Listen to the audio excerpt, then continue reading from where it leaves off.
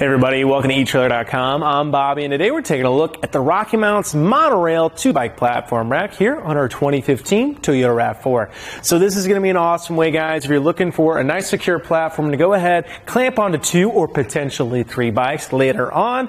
What's awesome about it, we do have a front tire hold so that makes it really nice and secure. Going to allow us to carry our carbon frame bikes, swim bikes, step through bikes, kids bikes with no problem and still going to be really nice for your big old mountain bikes as you're seeing here today. So we do have a 48 inch wheelbase with 29ers on here today, letting you guys know, yes, you're going to be okay to even carry these big standard guys that are going to be coming down the pipeline soon, which is great. So love to see this rack working in really, really well. What's nice too, we do have those blue contact points. I just like RockyMounts. They seem simplistic, yes, but they just do a great job going ahead and holding on your bike and getting there in no time flat, which is great. So, like I said, we got the front tire hold here on our back cradle. We do have this oscillating cradle, which is really, really nice, letting us account for our longer wheelbases, like you kind of are seeing here in the back. But what I really like about it too is that front cradle. It gives us a great little backer to make sure that, yes, even if we are hanging just a little bit here in the back, we're getting a really, really good secure hold on our front tire, which is great. Now, the one thing I'll say to it, we do have this front tire hold here. We have this fender. Yes, you can go ahead and start cramping down on here, but that can start damaging your aftermarket fenders. Um, that's something to definitely kind of avoid. So if you guys are having those big fenders, they might get in the way and they might prevent you from having a secure fit on that front tire. So gonna leave that up to you guys and how you guys want to go ahead and clamp it on there, but definitely is something to kind of watch. Um, that strip here in the front, nothing too crazy going on, just goes ahead and actually secures that, which is great to see.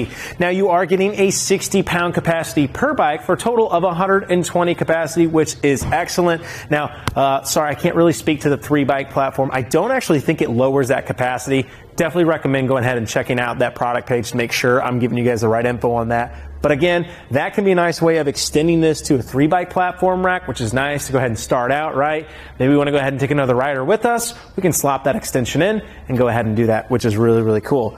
So I'm just going to go ahead and show us also that we can actually tilt this away from our vehicle. To do that, I just have a little pull pin here. I just simply need to pull it. That's going to let me rotate that down. Now it actually tilts quite far there. You guys can see uh, getting really, really low. But that is also because we are here on our Toyota RAV4. Our hitch is already sitting a little low. Love to see that we don't have contact though, even on the RAV4 here today. And I am going to kind of watch this as I open it. Not the happiest where this pedal might be. Yeah, we're doing okay. It always gives you that kind of moment of uh, hesitation there, right? In our handlebars, even with them being really long, we had clearance there. That's excellent. Now I can get those bike helmets, coolers, anything else I might need from the inside of here, get it out in no time flat, which is great to see. So, so go ahead and close that down. When I walk this up, there's no pins or clips I have to worry about. All I have to do, walk it up. It's going to click itself in place. Pardon me. I'm going to wait for that door to close, and then I can just walk it right up. It's going to click in place. We're good to go, which is excellent. So, not going to take me too much longer to get this bike off. Before we do, though, let's go ahead and see how it's interacting here on the back of our RAV4. So, from the back. Looks like we're getting a little bit of interference there, right kind of at our tail light height. Now, what's good about it though? We do have really good distance here, so that emittance of that light really shouldn't be impacted too much, um, but definitely is something to kind of consider. So let's make sure we're braking an appropriate time to let everybody know behind us when we are doing that. Now we do have an offset camera here too with our backup camera. Now, as you get two bikes on here, especially three later on, maybe that's really going to be impacting that camera. As it sits though right now, just the one, I think we'd get enough uh, kind of clearance out the back to see a little bit, but definitely is going to be impacting it with almost any carrier out there. Well, to get our bike released really isn't going to take any time. I'm just going to go ahead and pop off this back one here. To do that, I just need to press in on that lever that's going to go ahead and allow me to take my strip up and out of the way, get it set on the other side. And that does bring us to our last hold on our bike, albeit still very nice and secure. All I have to do, press in on that lever, just like so, bring that up to the top, out to the side, of course, making sure you're having a good hold on your bike as well. And we simply want to get in close, lift it off, and get ready to ride, which is awesome. So definitely doesn't take too much time, as you guys can see just to get that up and ready to go.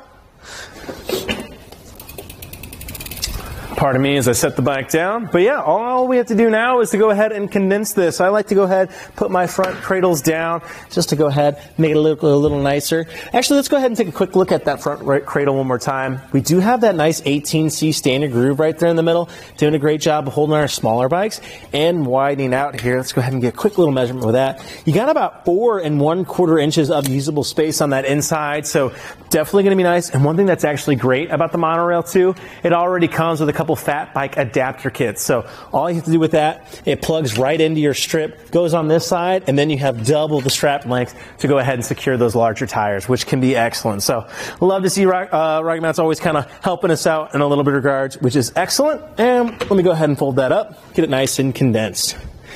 So with any kind of hitch mounted accessory, there's going to be a couple dimensions we're going to look at. First big one is going to be our clearance here in this position to make sure that we get our bike safely without having any interaction here with the road. So our lowest point of contact here today in the furthest position is going to be right here at the edge, and that's going to be putting you at 18 and one quarter to that lever because that might be kind of right in the way. That's going to be 16 and three quarters of an inch. So Definitely a pretty good amount of spacing there. Don't think we're going to have too much issue. However, we are sitting a little low already on that hitch with the RAV4, and if those front wheels go up, the back will go down, and so will your hitch mounted accessories. So if you find yourself approaching a really steep terrain, it might be something to kind of watch as we take it nice and slow. But I really don't think we're going to have too many issues, which is great to see. We have a really nice rise in that inner assembly, making sure that our bikes sit well enough out of the way of the ground.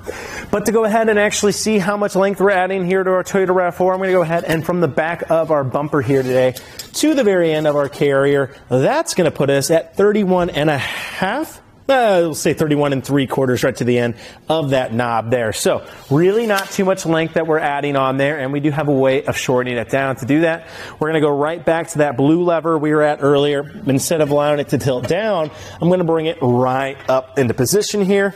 It's going to go ahead and lock back in. And this spot too, very little wiggle, which is great to see. You're not going to be hearing it or rattling in the back of here, which is awesome. And that's really going to shorten down a lot of our length. So from the back of the bumper here today to the back, that's 14 inches from the back of the bumper Definitely not too much length. Now we can get this pulled in the garage, or at the very least, give ourselves some maneuverability when we want to go park it.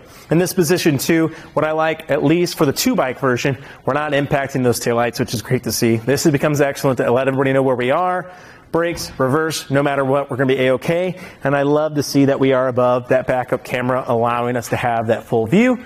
That way we can go ahead and back up safely.